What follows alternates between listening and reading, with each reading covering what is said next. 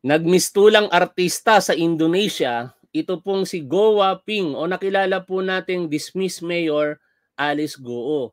Kasi nung mahuli po siya ng mga otoridad sa Indonesia at saka syempre nang siya po ay sunduin na ng ating mga otoridad sa pangunguna po ni Secretary Benhur Abalos kasama po ang Chief Philippine National Police, ang National Bureau of Investigation or Bureau of Immigration ng Department of Justice, eh kanya-kanya pong litrato, pa-selfie.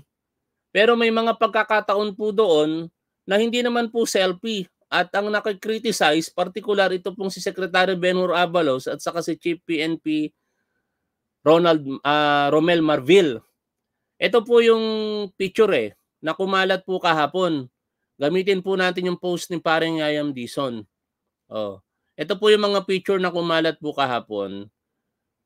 O yan, si Alice Guo o Go Waping tapos siya po ay pinicturan kasama si Secretary Benhur Abalos at saka si Chief PNP Romel Marville. Ito po ay hindi selfie. At ang nasa room po na yan, napakarami po nila. No? May mga media personalities, merong Indian Indonesian authorities at iba pa. Okay? But before na mag-proceed tayo further dyan sa komentary natin, panoorin muna natin kung ano po talaga ang nangyaring balita kahapon. Ito po. Sa kasalukuyan, nasa Pilipinas na po si Alice Goo. Ah. Pero ito pong papanoorin nating balita, ito po yung mga nangyari kagabi. Nung masimulan pong mahuli hanggang sa inantay nang makabalik dito sa Pilipinas, ito pong si Go Waping Uh, basahin nga muna natin yung pinaka-latest updates.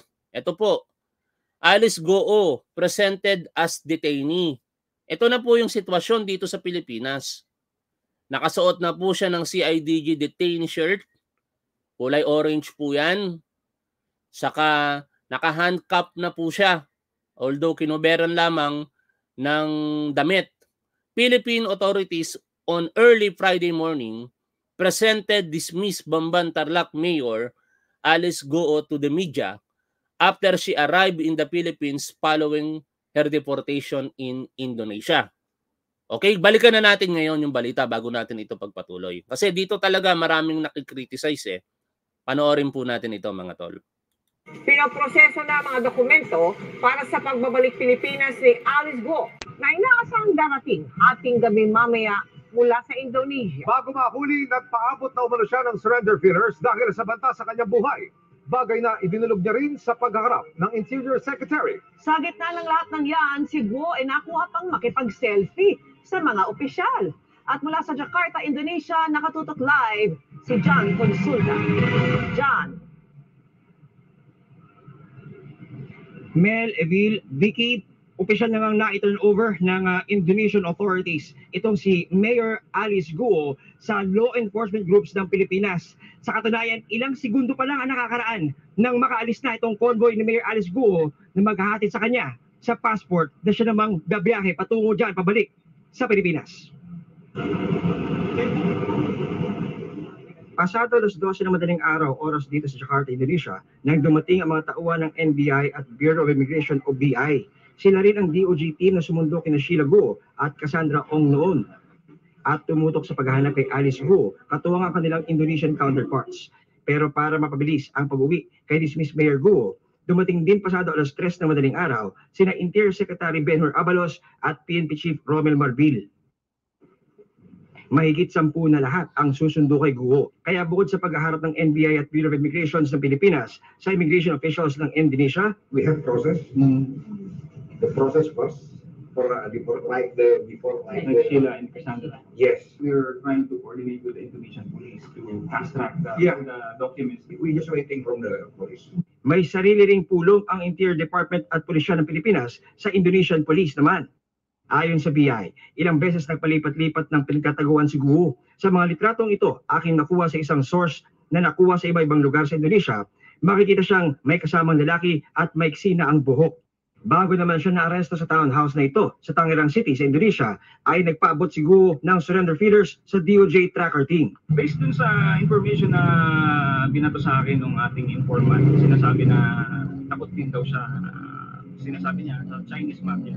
tukoy na rin ng BI ang mga personalidad na tumulong umano kay Guo para makapagtagaw sa Indonesia. Mga kapuso, kasama natin ngayon ang ah, mga tauhan ng National Bureau of Investigation at ng ah, Bureau of Immigration. Sulubuyang naglalakad kami ngayon papunta sa aming sasakyan na van. At ah, ito ay ah, paghahanda na para nga pumunta sa isang ah, tanggapan dito sa So, tandaan nyo po yung ban na ito ha. Kasi ito po yung nakita po dito sa picture na ito.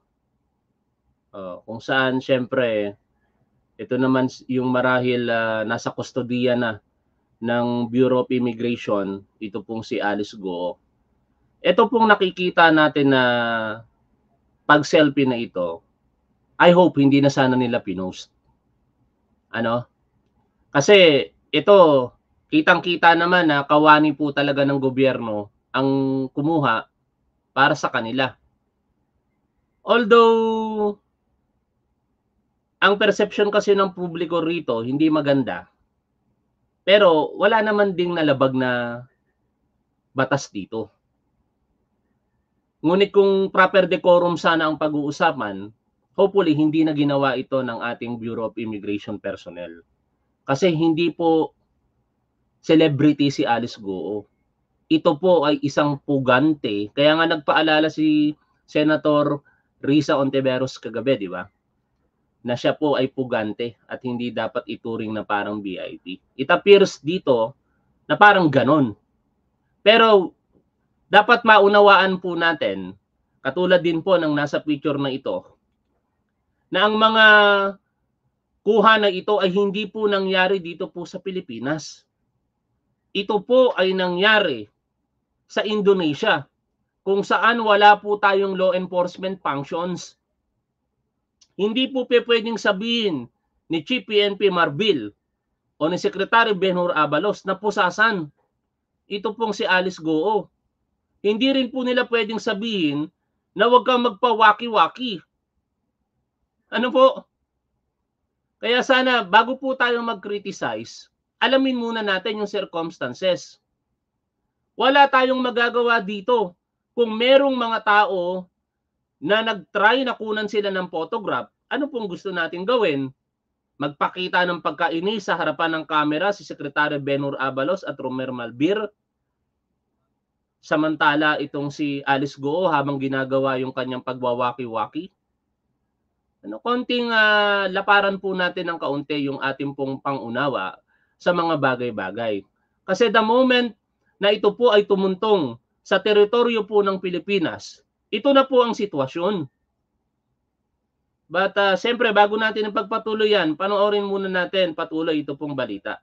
Indonesia nang ah, sa ganun magkaroon na ng coordination sa mga Indonesian authorities bilang paghahanda na rin dito sa napipintong ah, pagbiyahe ni ah, Mayor Alice Guo pabalik ng Pilipinas. Dakong alas 4 ng hapon, magkakasama na ang NBI, BI, PNP at ang Interior Secretary na makapulong ang Indonesian authorities para plansyahin ang mga requirements ng deportation ni Guo.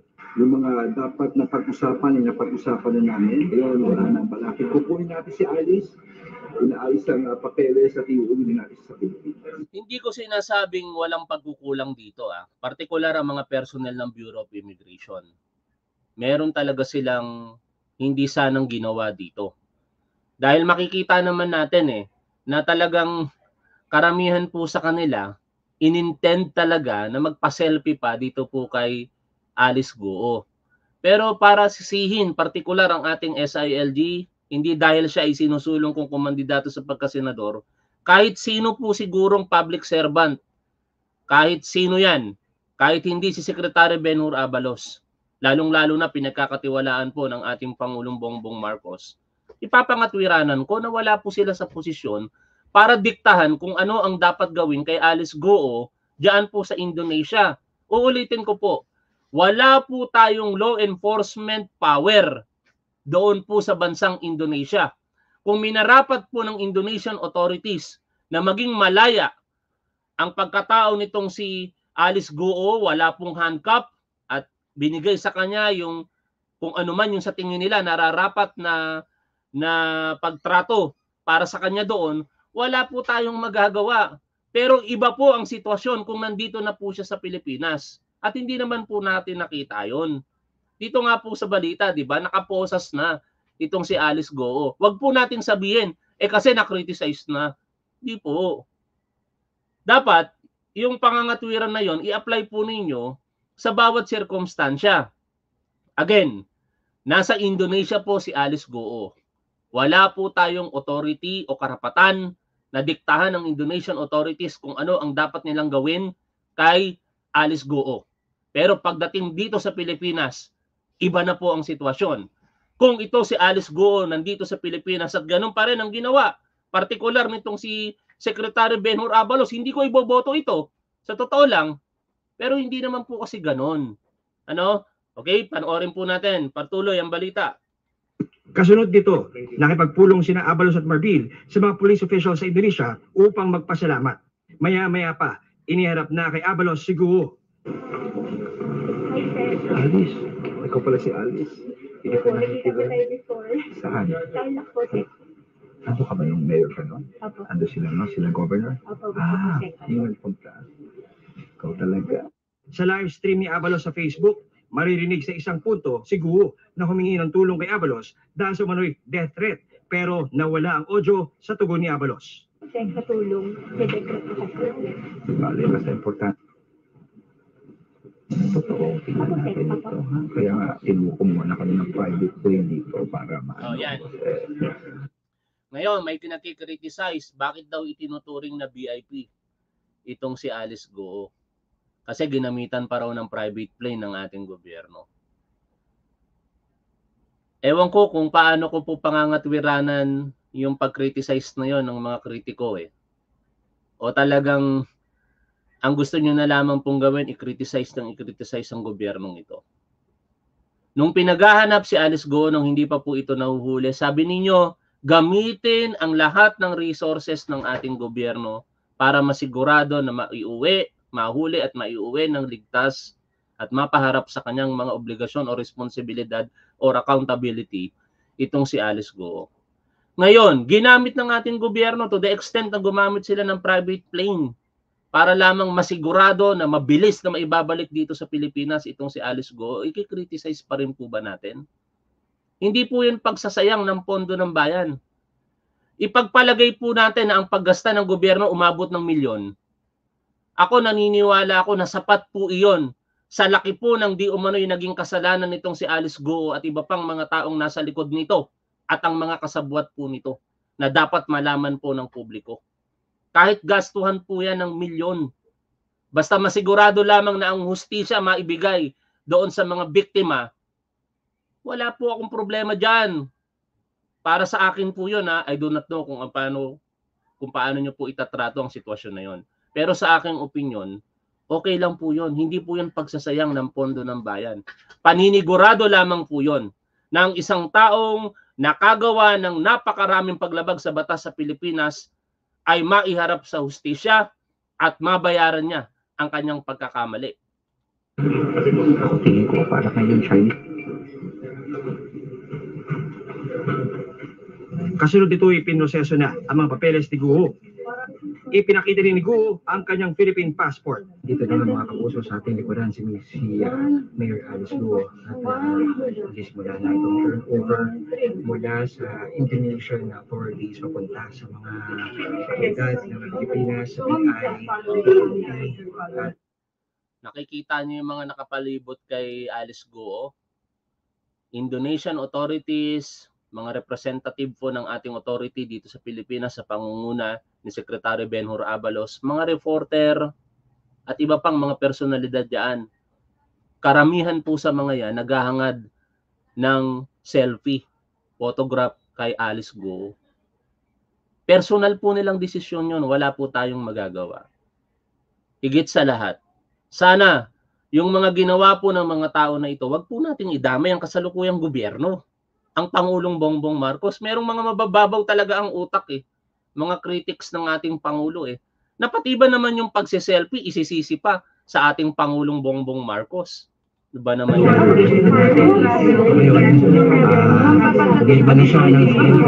At uh,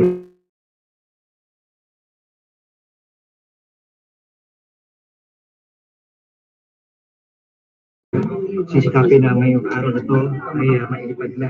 Pabalik. Nako, naghang ako. Pasensya na. Anong nangyari? Ano, naghang yung computer na ginagamit ko. Hindi ko alam kung mali ba yung nabili kong gadget na nilagay dito sa computer ko. Lagi na lang nagkakaganito. Dapat siguro talaga technician ng umayos, hindi lang ako eh. O, tuloy natin ang pakikinig dito.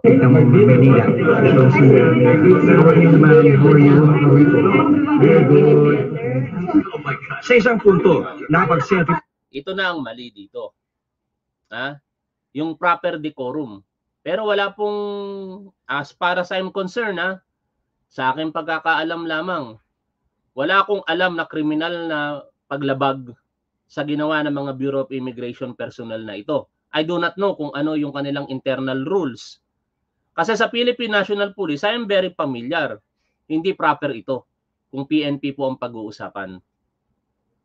Ang sino mang PNP na nakahuli ng isang pugante, hindi dapat nakikipag-selfie sa isang pugante. Pero dito, ang Bureau of Immigration Personnel, nagpa-selfie eh, no? At kung i-criticize nyo sila, wala po tayong magagawa dyan. Karapatan nyo po yan at nararapat naman siguro dahil di talaga maganda tingnan. Lalong-lalo na ang iyong hinahangad na makasama sa photograph ay isang pugante. sa kanya ang ilang opisyal mula sa Pilipinas at maging sa Indonesia. Okay. Ma'am? Ma'am? Ma'am, dito ma'am. Going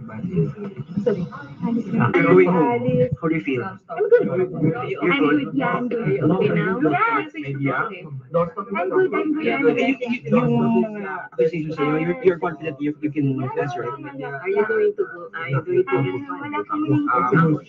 Ma'am, may, may death. May death. May death. May death may death daw. Sa nakikita natin, parang masaya pa si Alice Go. Ano? Eh, tingin ko, defensive mechanism niya po yan. Defense mechanism po ng tao. Pero deep inside, sa isipan po at puso ng tao na yan, sobrang pigati na nararamdaman yan.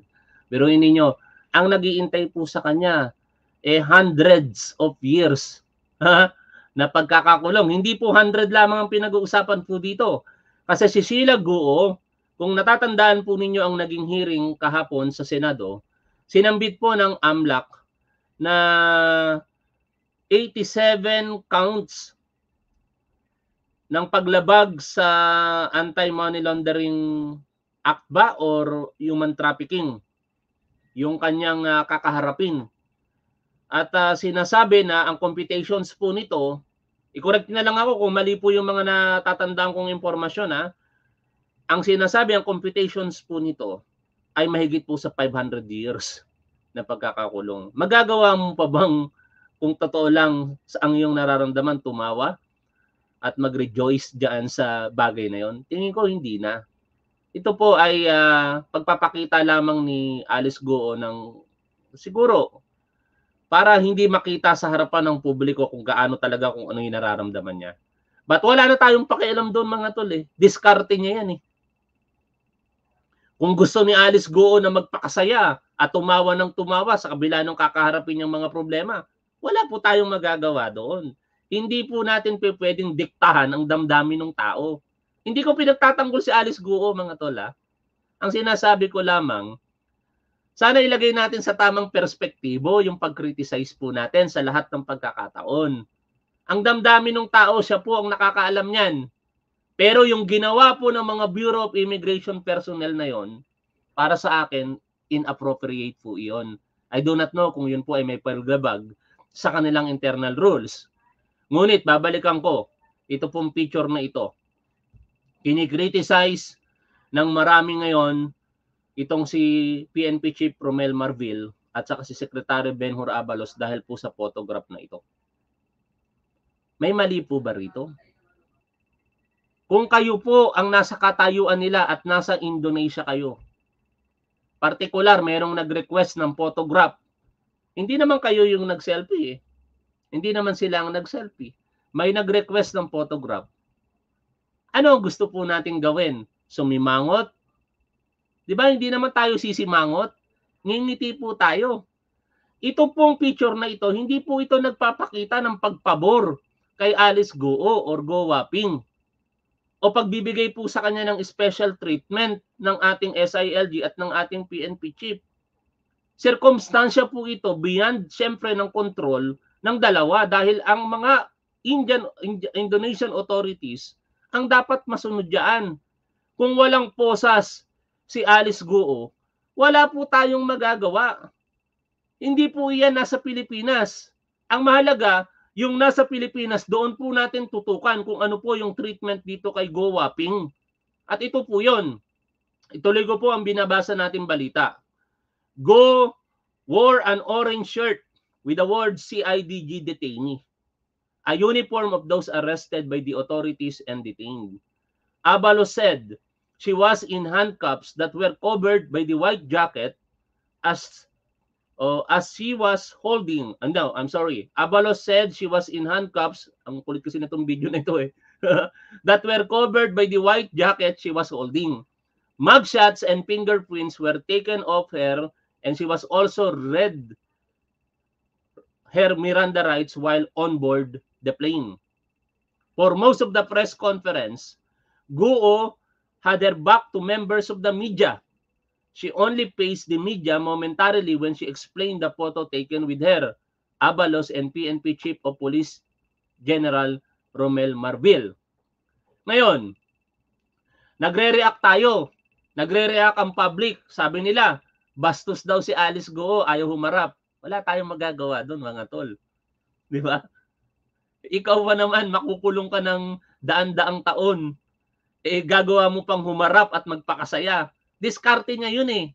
Huwag nating idikta kahit kriminal yan, sa paniniwala natin, hindi natin pwedeng diktahan yan kung ano yung kanyang gagawin.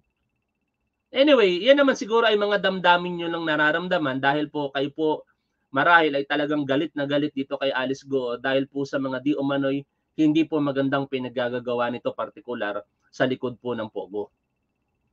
May death threats, humingi ako ng tulong sa kanila. Masaya ako I feel safe.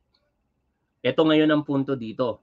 Kinikriticize natin ang gobyernong ito, partikular si Secretary Benhur Abalos, na mabagal ang aksyon ng ating mga otoridad sa mga bagay-bagay. Eh, dalawang buwan nahuli na si Alice Go eh, sa tulong din ng Indonesian authorities. Sa pagkakataong ito, ibigay po natin yung nararapat na komendasyon sa isang successful law enforcement operation. Kilalanin po natin ito. Pero i-criticize pa rin natin ang mga bagay-bagay kung alam natin na mayroong pagkukulang. Katulad po kay Gerald Bantag.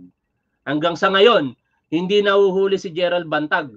Aba, kinakalampag natin ngayon ang Philippine National Police at ang ating National Bureau of Investigation. Ano na po ba ang ginagawa ninyo? Bakit hanggang ngayon hindi po nahuhuli si Gerald Bantag? Salamat na lamang at kahit paano, kahit hindi nahuhuli itong si Apollo Kibuloy on the other hand, ay nakikita naman natin ang pagpupursigi ng ating PNP sa pangunguna ni Police Brigadier General Nicolas, Tor- Nicolas Torres na hulihin ito. At hanggang ngayon, nagpapatuloy po ang paghahanap diyan kay Apollo Kibuloy sa premises po ng Kingdom of Jesus Christ na pwede rin po natin pag-usapan mamaya in a separate live streaming. Anyway, Balik po tayo dito sa binabasa po nating balita. Asked by the media to remove her black face mask, eto manggi po itong si Goo. Umalis po ng bansa noong Hulyo sa kabila po ng sa kalagitnaan po ng Senate investigation sa di umano'y mga illegal na aktibidad sa Philippine offshore gaming operation sa kanyang bayan sa Bamban. Tinatagalog ko na lamang po yung binabasa ko mga tola. Siya po ay inutusan ng Senadong arestuhin o siya, ang, ang Senado po ay nag-utos na arestuhin siya dahil po sa kanyang paulit-ulit na hindi po pagdalo sa mga nangyaring hearing sa Senado. Siya po ay kumakaharap sa mga reklamo for human trafficking sa Department of Justice. Ang Regional Trial Court po ng Kapas Tarlac ay nag-issue na po ng warrant of arrest para po sa graft charge. Sinabi po ni Abalos na nasa eroplano na po si Goo at ito po ay binasahan na po ng kanyang karapatan at dadalhin po siyempre sa Tarlac Court. Bakit sa Tarlac Court, mga tol? Kasi yun po yung unang-unang korte na nag-utos po ng pag-aresto dito po kay Go Waping. At kailangan pong i-return ang warrant of arrest sa korte kasama si Go Waping at korte na po ang magde-decide kung saan pong kustodiya mapupunta ito. Pero tandaan din po natin na may order of arrest ito si Go Waping mula sa Senado kaya definitely with the permission of the court dahil may kaso na po ito sa korte, haharap po ito sa Senate of the Philippines. Ngayon, what is very interesting dito sa mga pangyayari na ito ay kung ano yung mga sasabihin ni Go Waping sa publiko. Sino-sino kaya ang mga tumulong sa kanya para makatakas sa bansa? Kasi naniniwala ang mga senador na hindi po ilalagay sa alanganin ni Go Waping at ng kanyang mga kapatid ang kanilang buhay sa alanganin sa pamamagitan po ng pagsakay sa maliit na na bapor at sa masamang panahon sila po ay papalaot. Ang paniniwala ng mga senador, talagang ito po ay gumamit ng eroplano at meron pong mga taong kasabwat ito. Sa pahayag po ng ating mahal na Pangulong Bongbong Marcos, sinisigurado po ni Pangulong Bongbong Marcos na lahat po ng mga tumulong dito ay papanagutin po sa batas. Kahit sino po sila. Ang tanong na lamang, sino kaya sila? Yan ay malalaman po natin sa mga darating na pagkakataon at we are hoping na kung ano po ang katotohanan lumabas po dito at makantam po ang tunay na hustisya. Maraming maraming salamat po sa inyong lahat sa 1,734 na manonood po natin mula po sa Facebook at YouTube. Muli, kung ayaw nyo po kay Secretary Benor Abalos, so be it mga tol. Wala pong problema dyan. Pero, ako po kasi naniniwala na kailangan po ng isang senador na meron pong political loyalty para po sa ating Pangulong Bongbong Marcos. Hindi po totoo yung sinasabi ng ilang po nating manonood. Kung magalit man kayo sa akin, kilala nyo naman ako, napaka-prank ko po dito. Hindi po totoo ang inyong mga sinasabi na ito pong si Secretary Benhur Abalos ay pakawala ng mga Duterte. Use our common sense mga tol. Si Abalos at si Pangulong Bongbong Marcos magkababata po ito. Magkaibigan. At kung meron man sigurong yung loyalty na ibibigay itong si Secretary Abalos, hindi para sa mga Duterte. Yun ay para sa mga Marcos. Kung naitalaga man bilang chairperson ng Metro Manila Development Authority itong si Abalos, eh marahil yun po ay dahil sa kanyang competency. Hindi dahil kakilala ng mga Duterte. No? Again, it's up to you kung iboboto nyo, kung siya itatakbo sa pagkasenador, di pa naman natin alam kung siya itatakbo eh. Ako, kaya lang naman ako nagpo-programa ng ganito kasi gusto ko siyang hikayatin eh. Talagang hinihikayat ko si Secretary Benhur Abalos na tumakbo sa pagkasenador. Pero hindi niya po ako kilala. Hindi ko rin siya kilala ng personal. Ang katotohanan, on one occasion, nagkita-kita kami ng mga kapwa ko vloggers sa aking pagkakatanda, si Kakiraki, si Palerista, si Mami Peng, si David, si Muntintinig TV, at uh, iba pa, hindi ko na matandaan yung iba eh. Nabanggit ko na ba si Palerista? Oh. Sa pagkakataong iyon, post-birthday celebration yon ni Kakiraki. Kanyang kaibigan po ni Kakiraki ang kapatid nitong si Secretary Benhur Abalos. Doon ko po na-meet ang isang Abalos. And I could say na yung yung uh, kapatid na yun na Secretary Benhur Abalos, napaka-humble, napakabait. No? Sa pakikipag-usap ko sa kanya, I do not know sa personal, pero napaka-humble talaga.